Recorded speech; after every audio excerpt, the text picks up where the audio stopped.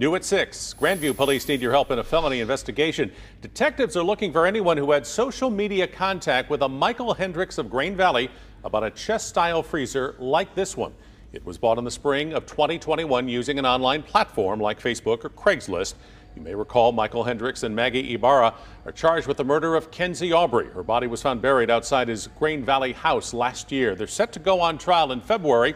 Anyone with information about the freezer is asked to call Grandview Police.